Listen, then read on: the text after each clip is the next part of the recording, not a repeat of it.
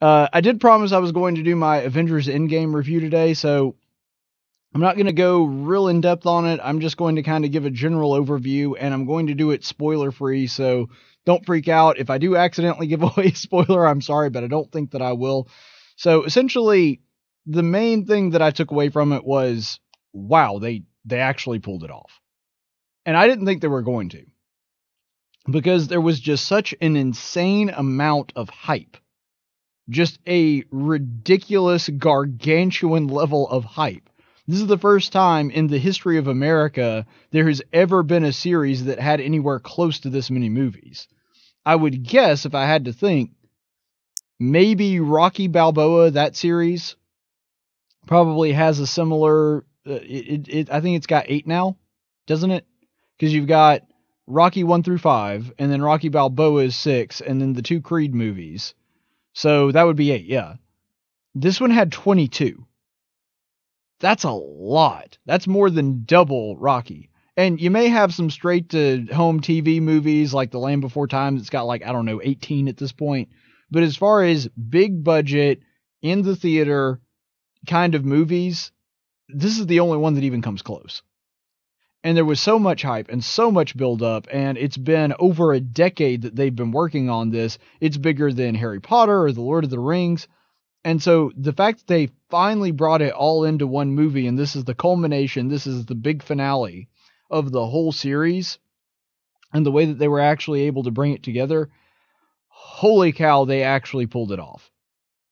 And to give you fair warning, and this was something that was speculated on, so I'm not really spoiling anything at this point, because this has just been everywhere and it's more or less been confirmed by Marvel. There are other movies in the Marvel Universe that are going to come after this one. For example, you've probably even seen the trailers of Spider Man Far From Home, which is coming out later this year. There is a Black Panther 2 that has been confirmed. But as far as the Marvel Universe, in other words, the Avengers series of films, this is it. Maybe they could change their mind later.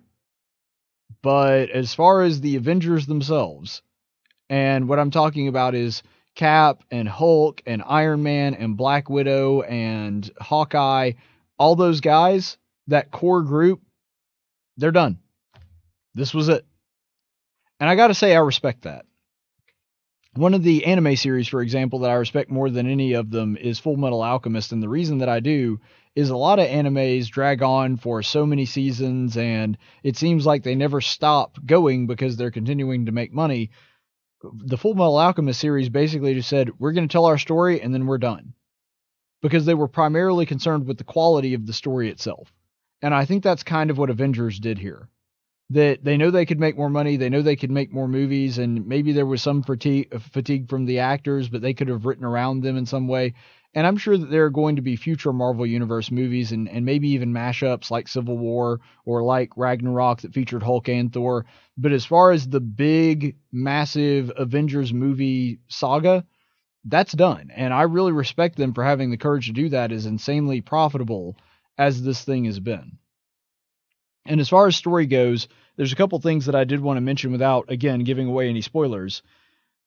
You do have to watch all the movies first.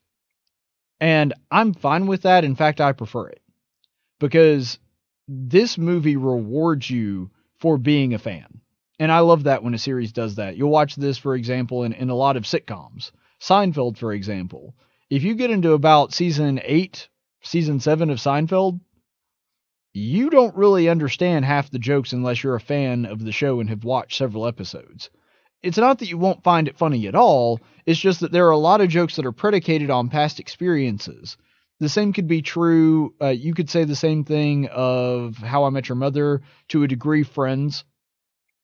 And so knowing the characters makes it a much more enriching experience because you're not confused about what's going on. There's some nuances that even points that you'll understand, like the conflict or the humor they make more sense when you have the context of the previous movies. And so, for anybody that wants to see this movie that is asking, okay, which movies can I watch and which ones can I skip to watch this one? My advice just watch all of them. And I know there will be people that get frustrated with that, but that's that's honestly my advice. If you want to really get everything that you can out of this movie, if you really want to enhance your enjoyment of it to the max, you got to watch every movie And if you miss one, especially the Guardians, especially the Captain America movies, you're just going to be lost. There are a few that you could probably skip and not lose that much, but especially this one. And again, I'm really dancing around the spoilers here. This one, more than any of the other Marvel movies in the series, really depends on you knowing the Marvel Universe. It really depends on you knowing these characters and having an appreciation for what they've been through in the past movies. And there's going to be some points where you don't really understand what's going on unless you've seen all of them. But I mean, I'm not asking you to to, you know, dig a canal. I'm asking you to watch a bunch of really enjoyable movies. So that would be my advice. You can't really skip any of the movies. You got to watch all of them. Another thing too, humor is really more abundant. In Infinity War, even though I thought it was a pretty good movie, the one thing that I thought was kind of lacking that the other Avengers movies had is there there was a real abundance of humor.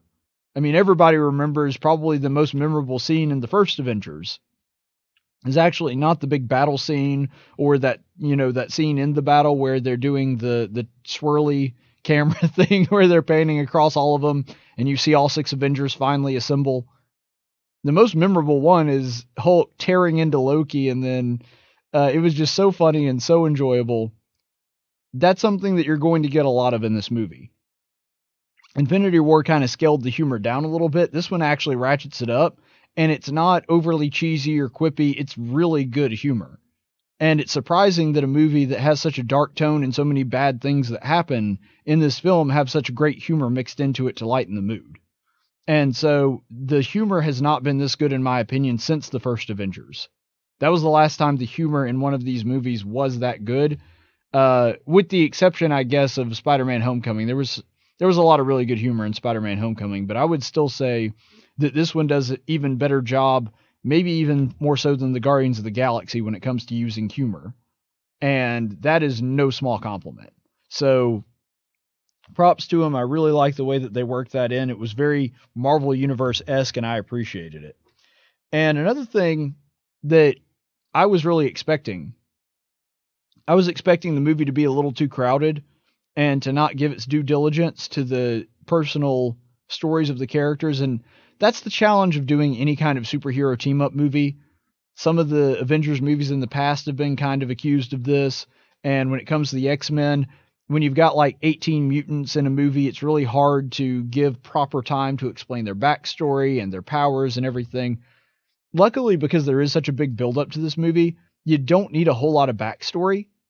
And they really do spend a considerable amount of time on each of the Avengers, especially the core six.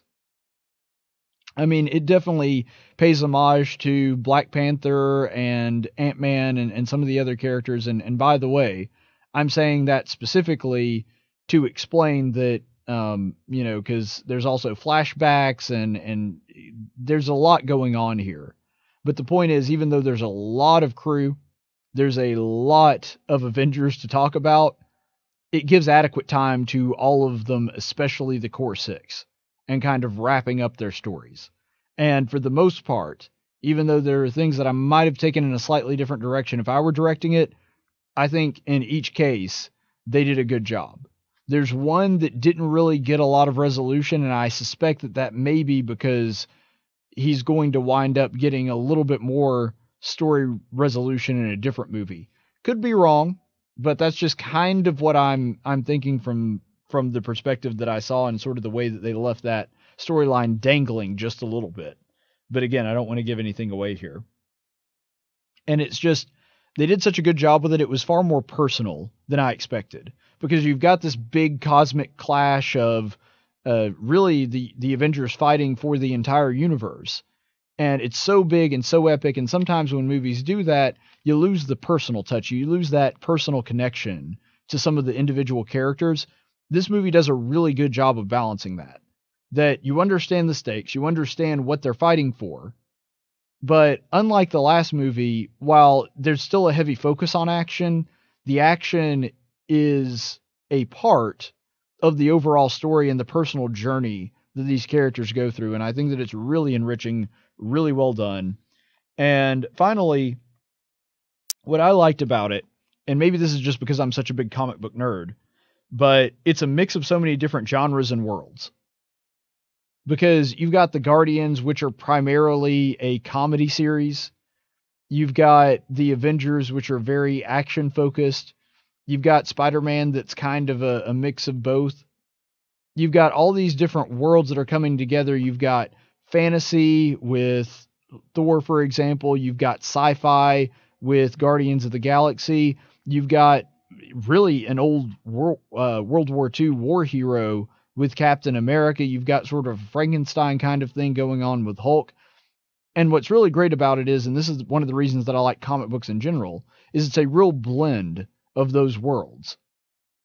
And so, without giving away any scenes that are specific, you may have a sci fi character at one point wielding a battle axe or a spear and riding on a horse. I mean, it's just something that's so utterly ridiculous and weird and far fetched, but it works. And that's the reason that comics are really fascinating. One example that I, I thought of just now was sort of in uh, the New Avengers, which is a comic book series that I read a while back, where it's uh, Spider Woman and uh, Wolverine and Cap and Spider Man and, and, a bunch of these other heroes. They come across in the Savage Lands, which is primarily associated with the X Men. They come across a barbarian character with a giant club riding a T Rex. And Spider Man's like, hey, I know that guy. And then Spider Woman reacts with, he's a half naked man riding a dinosaur. Of course you do. And that's just such a comic book thing. And that's what I like about it is it has such a feel of a comic book.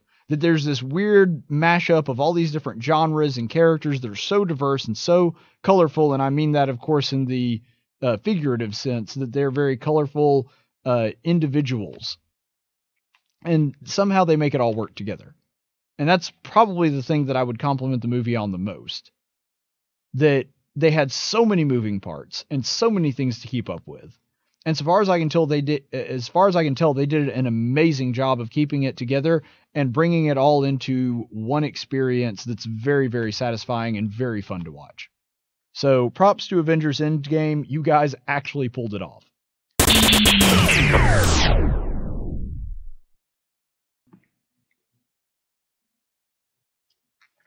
Oh, hey. What are you still doing here? Video's over. I'm off the clock, so go watch another one of my videos or something. Or better yet, you could subscribe to the channel and click the notification bell.